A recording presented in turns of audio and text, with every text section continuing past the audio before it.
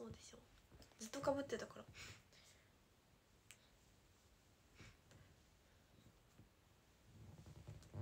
ちゃんと起きれましたかって？起きれないわけないじゃないですか。な目覚ましより今日は朝目覚ましよりも早く起きて準備してたんですよ。私。そう。こんばんはこんばんは6時過ぎに起きたんでいいやと思って目覚まし入れとったのになんか6時くらいから無意識に起きてそう。さあ準備しようって思ったらそう起きる時間の30分前ぐらいでえまだやんと思ってもう一回寝,、ま、寝ようとした。白潤さんイエイギフトありがとうございます。もう一回ちょっとだけ寝ました。結局寝れなかったんかな？忘れたけど。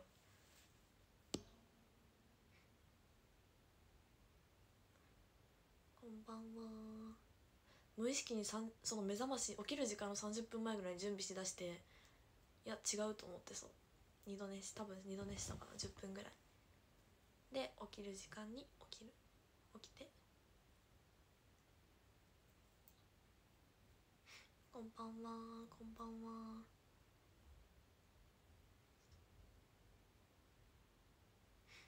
そう目覚めいいんですよ。目覚め。寝起き？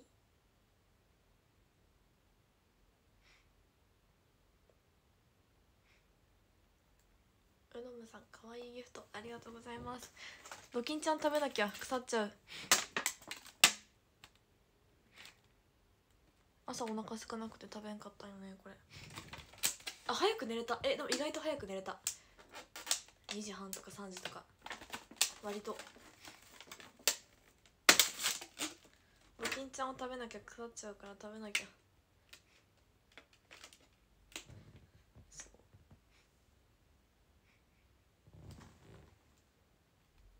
そう。昨日終わったドキンちゃん。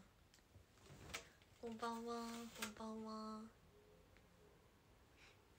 朝おお腹空いてなくて食べなかった。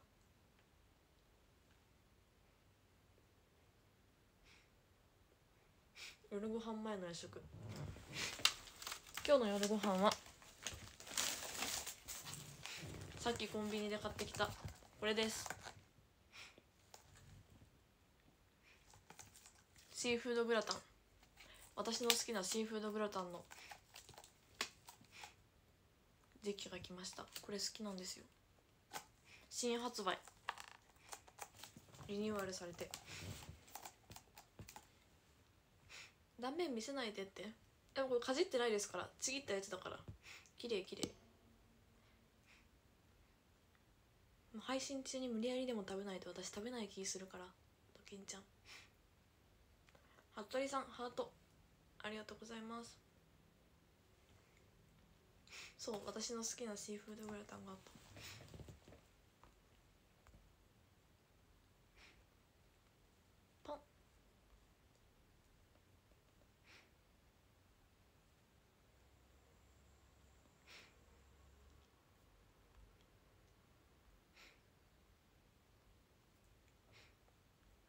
グラタンは後で食べる。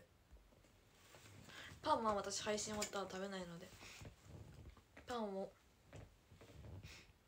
食べてます。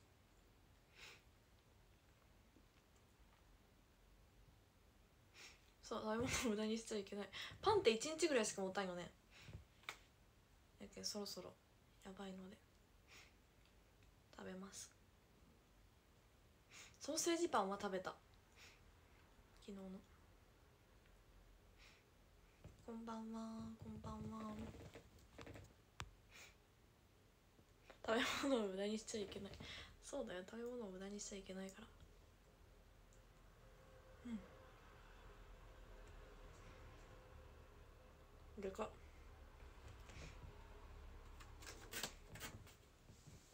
なんで帽子かぶってるの？前髪がないからです。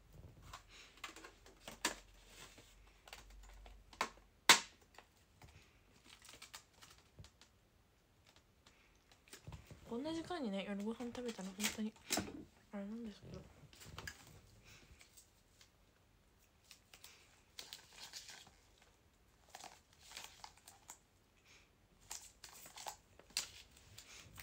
帽子かぶってなくてごめんなさいっていいえさっき、ね、4時間ぐらいずっとかぶってたんでぺたんこになっちゃったんですよねほらだからかぶっとこうと思って。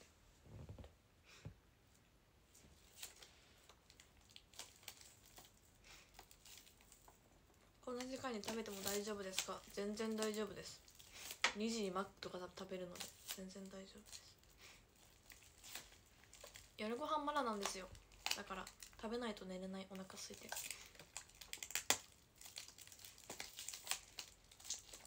かわいいギフトありがとうございます。3分30秒。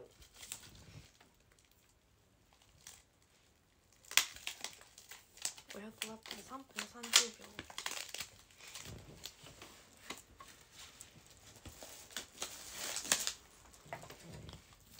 あとこれが美味しそうで買った。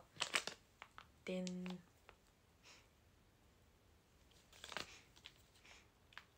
メンマ。めっちゃ美味しそうじゃない？私メンマ好きなんですよ。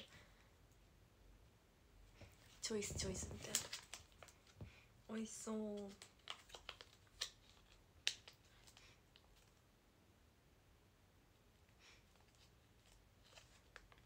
帽子かわいいでしょ？私帽子めっちゃ持ってるんですよ。これも可愛いでしょ？帽子。初めて聞いた。私メンマ好きですよ。ラーメン屋でメンマ追加するぐらいメンマ好きです。そう。夜ご飯バラなんだよね。夜ご飯これ。お酒は飲まないです。お酒は買ってないです。さすがにそれは太るので寝る前に。寝る前の飲酒。はしないです。まだ明日の朝食べれるかなルキンちゃん。そうメンマめっちゃ好き。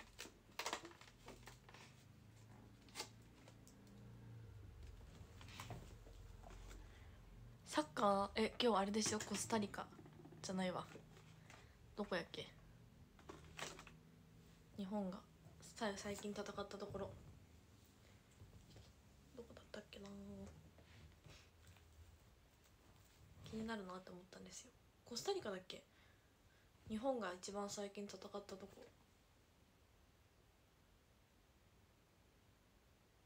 クロアチアだっけ？そうクロアチア。とブラジルって書いてたからそうちょっと気になったけど。何時なんだろう？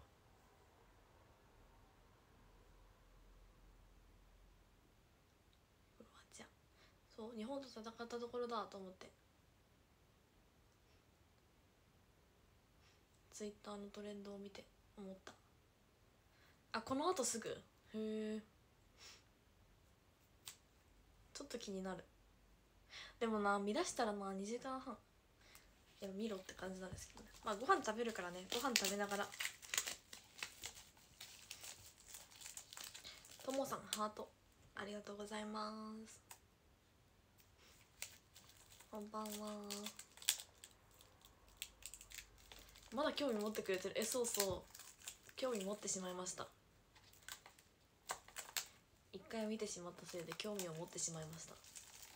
私はハマりやすいので。ハマりやすいのくて飽きやすいのでミキヤさんハート。ありがとうございます。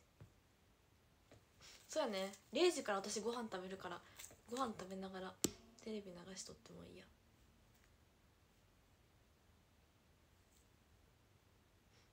こんばんは。そうこの前の日本のやつ2時間やと思ってたら3時間だったでインタビュー見て3時半4時みたいな。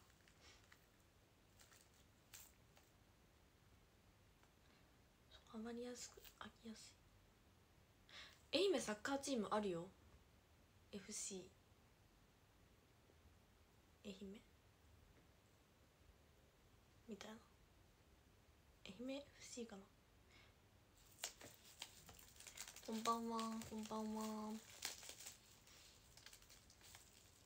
愛媛 FC か。FC 今治もあるんですよ。そうそうそう。FC 今治。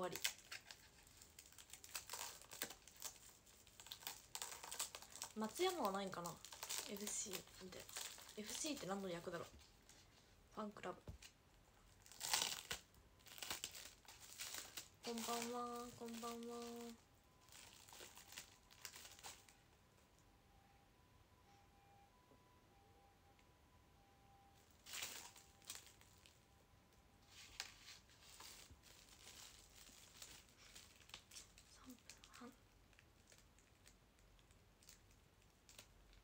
ボールクラブ。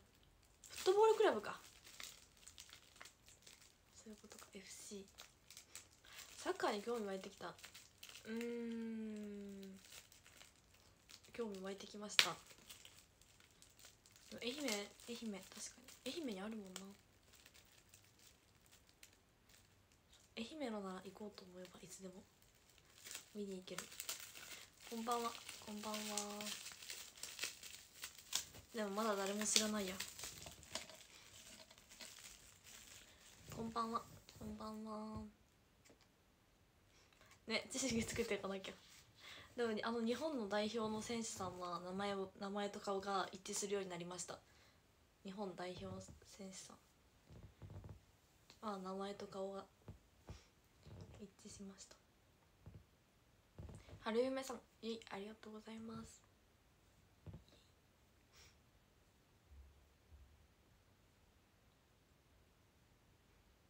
自分も若干ゆきりかに興味持ってきました。若干？若干か。三笘さん？ね？覚えた？覚えた。明日朝全然早くない？あでもまあまあまあ。歌松さんギフトありがとうございます。アードギフトありがとうございます。なんで帽子かぶってるの？私さっき4時間ぐらいね帽子かぶってたんですよ。しなんか暑かったのなんかぺったんこ。オイルとかつけてもらったんでもうぺったんこなんですよ。ぺったんこなんで。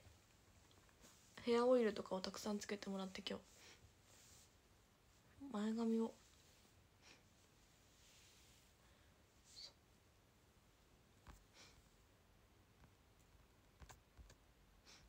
ちねさんサッカーありがとうございます。ぺったんこなんです。新スタジアムのオープニングの時のイベント？えー、呼ばれないかな。ちょっとそれは。急にサッカー勉強しなきゃ。今治。みちゃさんハートありがとうございます。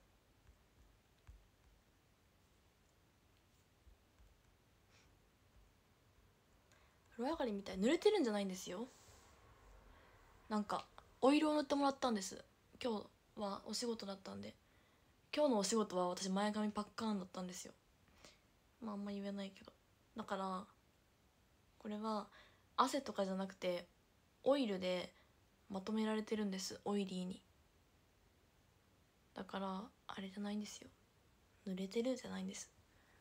これはちょっとオイリーになってるんです。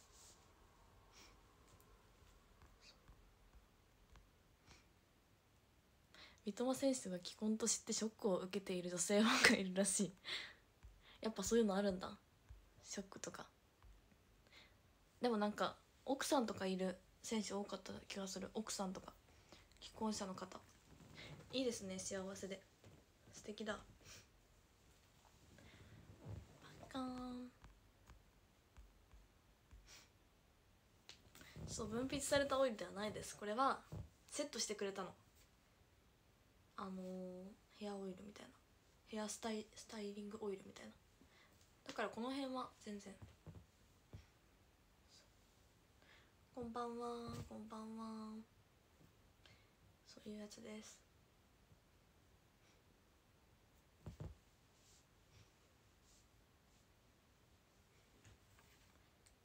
こんばんは。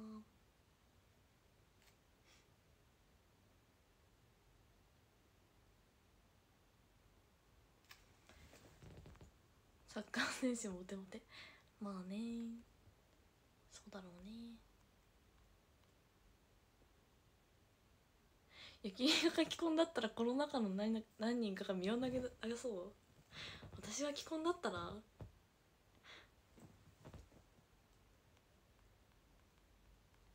うん。面白いね。ヤスルパンさんイエイギフトありがとうございます。こんばんは。こんばんは。1075 3分半忘れそう剥がしちゃった。前も今からサッカーやろうって。そんなモテるためにサッカーを使わないでください。既婚でも気にしない。さすがに既婚じゃないけどさサイコパスすぎない？私既婚者だったらこれ今。怖っ。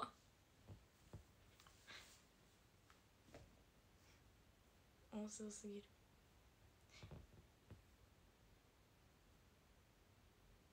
一人で何してんって感じや何を使えばいいですか？うん。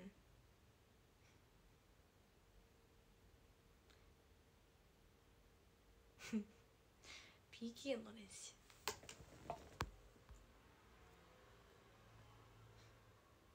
モテるからという理由でサッカー部に入ってたやついた？へえサッカー部が持ってたイメージはそんなにないような気もするんですけど。どうなんかね。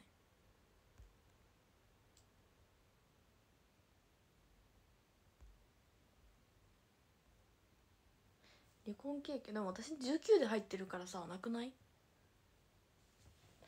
18でしょ？結婚できるの？16やっけ？分からんけど。知らんけどさ。19からさ。え夏月がカラオケに入った？えここの？すごなんで？ピンポイントで。やったね。何部が持ってていましたか？あでもサッカーかな。野球とサッカーとバスケとか。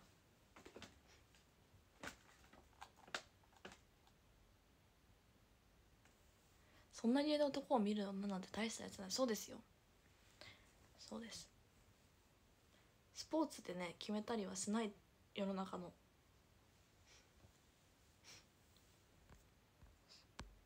豚松さんお疲れ。ありがとうございます。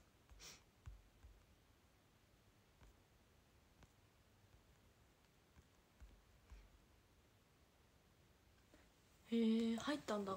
へえ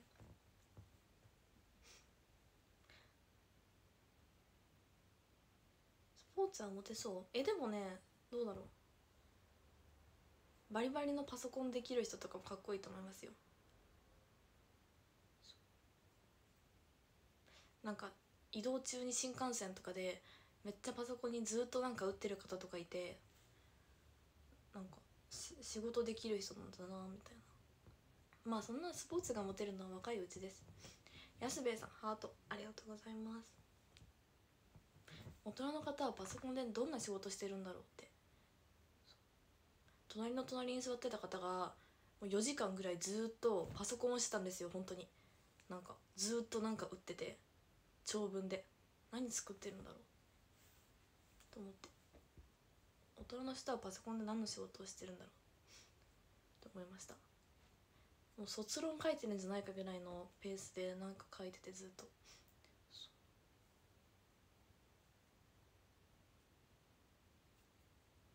猫ひれさんかわいいギフトありがとうございます。タイミングの練習じゃないんですよ。なんかを見ながらずっとなんか仕事してるの。そう周りのそう方々。ね。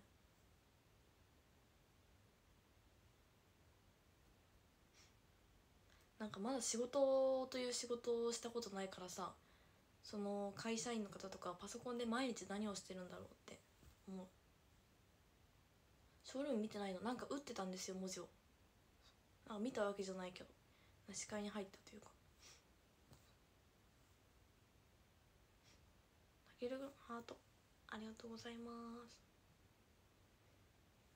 毎日仕事に行ってその何をしてるんだ何をするんだって思いますよく。パソコンで。まあ仕事によるけどさ。毎日何するんだろう。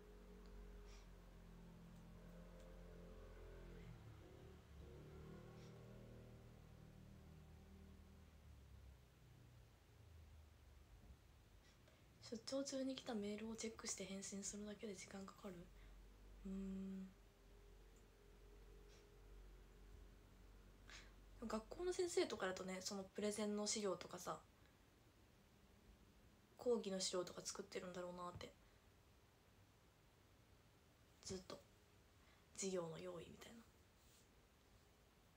パソコンしか見てない？何するのパソコンって。こんばんは。こんばんは。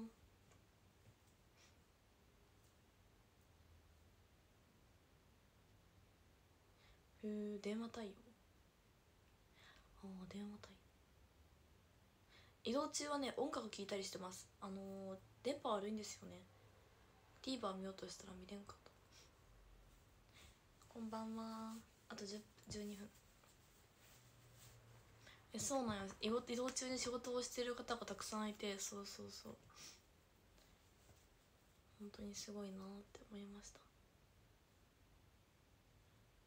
お疲れ。ありがとうございます。テロップ嘘ついてるわ。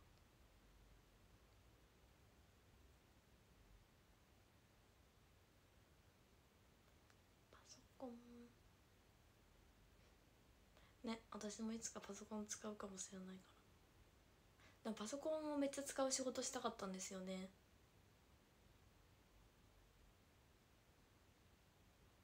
事務系。あオーディションの締め切り？あまだ間に合うけどさ。もうまあギリギリの滑り込み。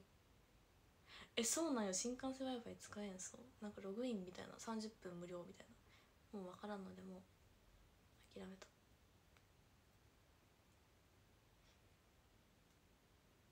システムの設計？へえまあ教えてくれるのかね？職場に着いたら。今日はこれをやってくださいみたいな。そうだよね。今日はこれやってくださいみたいな感じなんかな。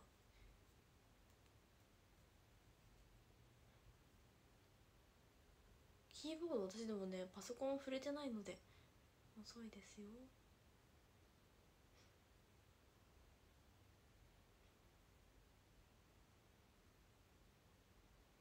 ね？バイトもそうだよね。最初何していいか分からんかったけど教えられてでもう自然ともう数週間とか経ったら無意識にそれを勝手に自分でやるようになるみたいな。言われなくても。そんな感じになるのかね。リチャさんタコありがとうございます。ウドムさんかわいいギフト。ありがとうございます。こんばんは。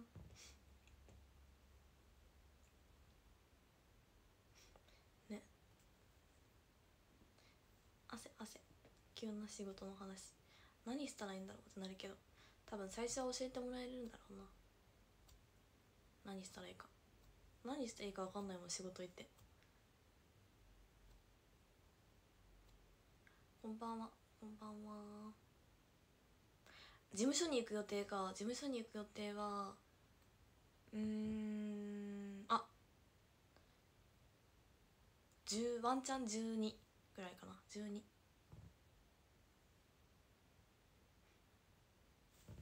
早くて12でも12が事務所じゃなかったら次は何になる？14とか？1414でももし14が事務所じゃなかったら1617お話し会の行きと帰りとか。豚松さんめっちゃ可愛い。ありがとうございます。服部さんもありがとうございます。ギフト。ツリーの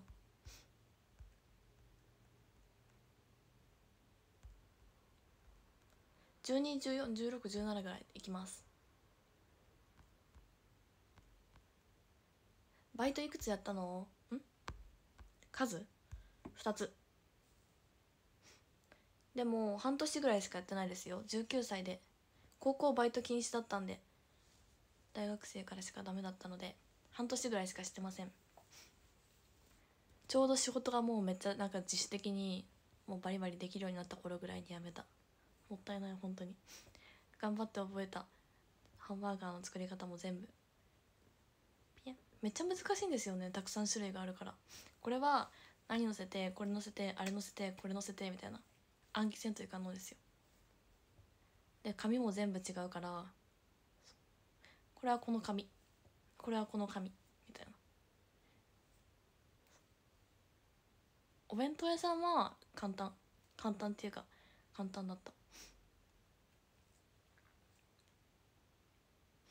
高校はバイト禁止されてたけど隠れてバイトしてた？でもバレたらねよくなかったんで。かわいギフトありがとうございます。ミキヤさんタコありがとうございます。どんな仕事は難しいね。でマジハンバーガー種類多すぎて難しいですよ。ソースも全部違うんですから。そう。何をどの組み合わせでのせていくか暗記せんと難しいんですよ。最初は本見ながらやるんですけど。紙も10種類ぐらいあって。レタスも2種類とか。切れたやつと刻んでるやつとそうベーコンレタスとか刻んでないやつ。そう。これはこっちだ。みたいな。めっちゃ大変だった。ソースも違います。ノーマルはケチャップとマスタード。みたいな。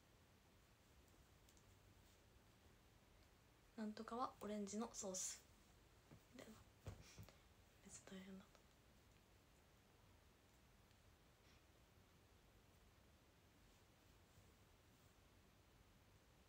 たヤッホーヤッホー。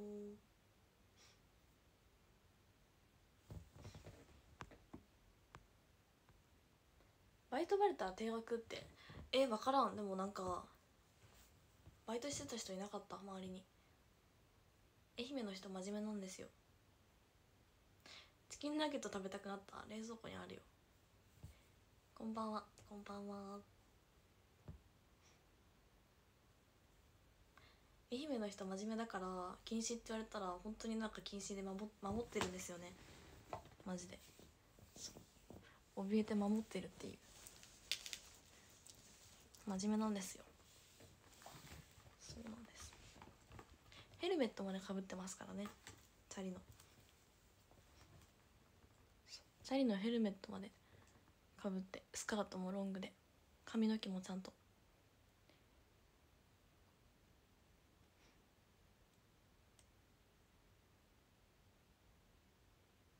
りょうつんとの写真姉妹に見えた？ねもう姉妹ぐらいの年齢差ですもんね。ほんとや。8ぐらい違いますから8歳違いますので。姉妹じゃないなもう8歳は。年離れた。愛媛の人みんな優しそう。本当にみんな優しい。愛媛の人。それは間違いない。もうその辺のおじいちゃんおばあちゃん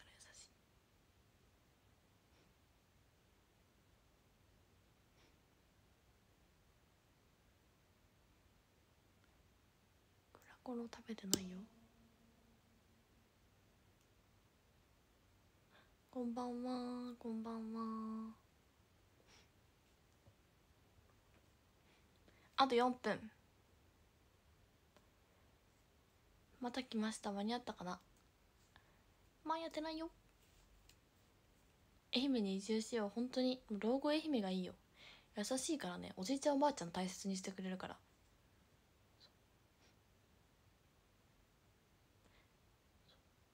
おじいちゃんおばあちゃんがみんなフレンドリー結構。話しかけてくるタイプ。私のおばあちゃんもなんか話しかけに行くタイプだしおじいちゃんおばあちゃんが話しかけに行くタイプなんですよ。平和な街で育育ってるからなんか人を恐れず普通に話しかけに行くんですよ。じいちゃんばあちゃんたち。かわいいねって。何歳みたいな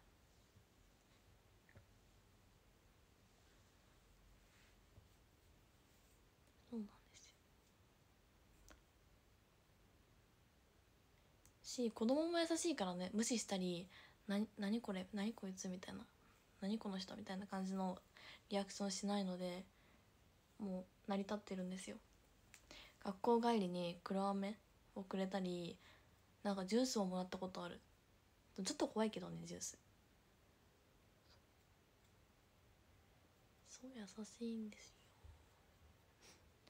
おじいちゃんおばあちゃん。話しかけてくるんですよね大体。あと2分だ。残り1分になったら団長山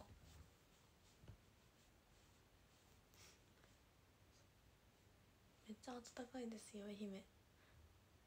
東京だと通報？確かに。確かにどうだろうね。東京はでもそんな感じないよね。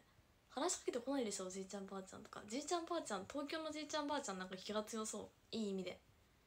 気強そう。私まだ若いしみたいな。いい意味で。なんか電車の席を譲ろうとしても「いや大丈夫です」って言ってくるタイプ。あと1分だ。いい意味で。最近私それありました。愛媛のばあちゃんなら喜んで「ありがとう」って座ってくれるけど都会の方は私ばあさんじゃないからって多分思う。13位宗弘さん12位猫ひれさん11位きちねさん10位龍樹健さん9位理化学研究所さん8位やするパンさん7位りちゃさん6位春梅さん5位みきやさん4位服部さん3位うどむさん2位豚松さん1位安兵衛さんありがとうございました。ありがとうございました。お腹すいたお腹すいた。それでは終わります。